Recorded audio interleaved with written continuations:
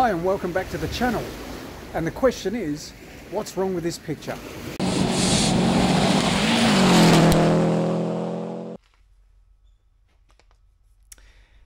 It's been two months since I started filming the intro for this video and at the time we were on a tropical island when we should have been at the Forest Rally in Nannup for the largest rally of the year. Since then, we've had another round, the Grimwade Stages rally in Donnybrook. We didn't go to that rally. And the next rally in late August, the Carry rally out of Manjimup, we're probably not going to that one either. For the Forest Rally, it was the first time in over 25 years that we hadn't attended that event. We had no cars in it, we weren't competing, so we went on holidays. And the subsequent two rallies are going to be the same. Is there a problem with the State Rally Championship? I'll let you make up your own mind with that. However, from our point of view, it's just a weird anomaly in the universe at this point in time where, for different reasons, people in our team are not entering the rallies. They've got business commitments, family commitments, and there's probably some economics at play as well. So, where we've had six or seven cars for last season and, and, be, and before, instead, we're having a very quiet season. That said, the show is still going on, so let's take a look at how the midpoint of the State Rally Championship is stacking up. Round two of the season took competitors to Nannup for the Forest Rally, which is also a round of the Australian Rally Championship, so a few Eastern States cars also came over. With about 59 entries, numbers were down slightly from last year. The event ran over two days for state championship competitors, with a single day for clubmen.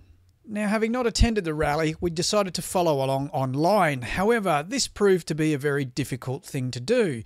You'd think in this day and age that live results should be very easy and the information should be accessible. However, the Australian Rally Championship has made it incredibly difficult. And so I've actually had to revert to using the local point system to work out the standings. So let's start with the clubman.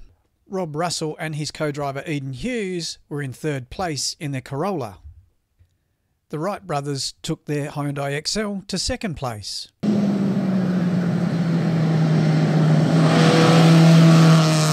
Winning their second clubman event in a row was Luke Dunkley and Alex Baird in their Excel.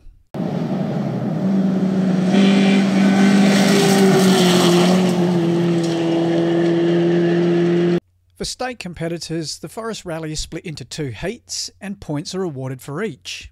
Within state two wheel drive, it would be Glenn Alcorn and John Charlson that would win Heat 1 in their Toyota Sprinter. However, they had a DNF in Heat 2.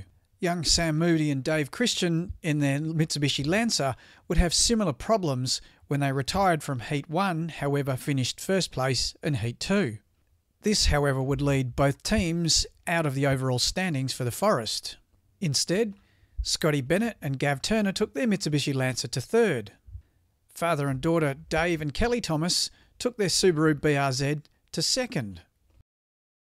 And the win was taken by Tony Oates and Neve Nan in their Honda Civic.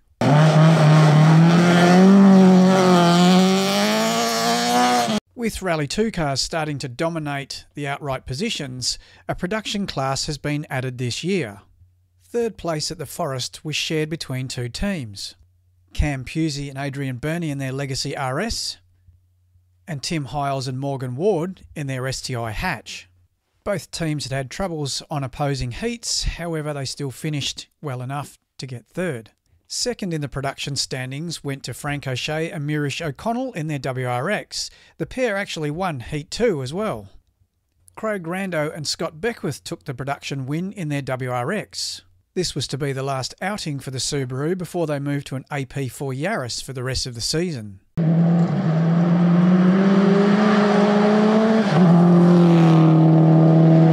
Onto the outright standings for the Forest. Dylan King and Abby Hayes did well in their AP4 Yaris in Heat 1, however, a DNF on Heat 2 put them out of podium contention. That meant that Craig Rando and Scott Beckwith had also taken third overall. Pete Rullo and Jimmy Marquette had taken their Hyundai i20 Rally 2 to second place. And winning the Forest Rally was Alex Rullo with co driver Steve Glennie and their Hyundai i20 Rally 2. Round three of the championship, the Grimwade Stages rally, based out of Donnybrook, was just a few weeks after the Forest. In stark contrast to the entry numbers for the Forest, Grimwade had a little over half as many.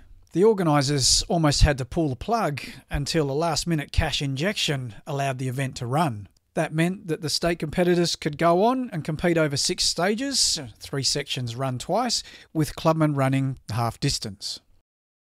And let's get straight on to the clubman results.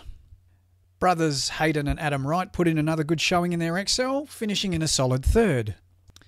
In second place was Gav Turner with Sammy Pollack alongside in the Mitsubishi Lancer, and for Gav, it was also his debut driving in a rally, so well done.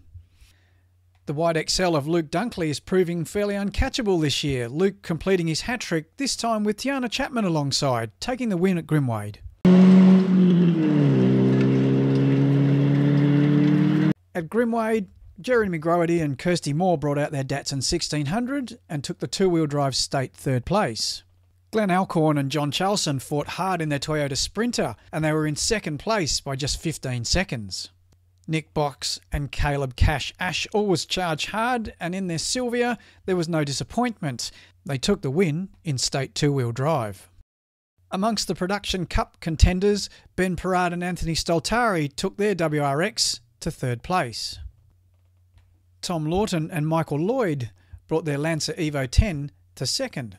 Shaking off their troubles from the previous rounds, Tim Hiles and Morgan Ward took their STI hatch to a convincing win in the Production Cup. On to the outright standings and the Rally 2 battle. We'll start with Craig Rando and Scott Beckwith that debuted their AP4 Yaris. Unfortunately, the car gave a bit of mechanical drama and they DNF'd without a result. The podiums were somewhat business as usual. Pete Rullo, this time with Ben Searcy, brought their Hyundai i20 Rally 2 to third. Husband and wife Dylan and Abby King brought their Toyota Yaris AP4 to second place. And out in front, Alex Rullo with Jimmy Marquette alongside took their Hyundai i20 Rally 2 to the win.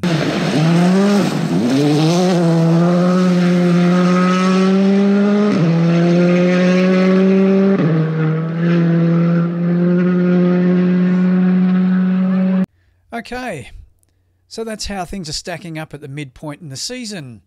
Thanks for watching. Please like and subscribe, and we'll catch you again soon. Cheers.